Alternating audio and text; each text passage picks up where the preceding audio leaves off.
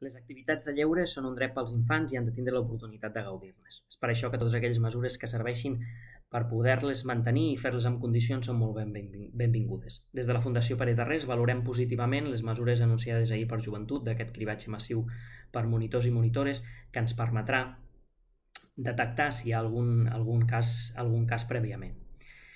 En la major part de, en la major part d'activitats el que ens estem trobant és, com ha passat també durant el curs durant les escoles i sobretot quan hi ha hagut un repunt a la, a la societat, eh, majoritàriament un monitor monitora ha sigut contacte, ha sigut contacte d'un positiu i això fa que amb ell eh, se li faci la prova.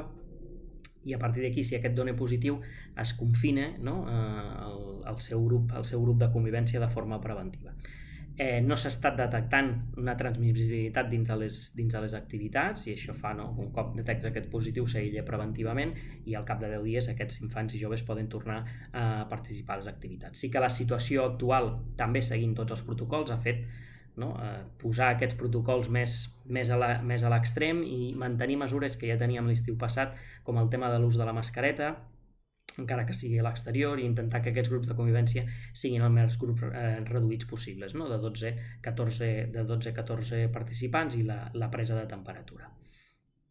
Al final, totes aquestes mesures permeten no, realitzar aquestes, aquestes activitats sense evitant aquesta transmissió dins aquestes, dins aquestes activitats i que aquells infants i joves puguin continuar gaudint d'aquestes activitats educatives on generarà molts aprenentatges i que també són necessàries per al seu, per al seu desenvolupament.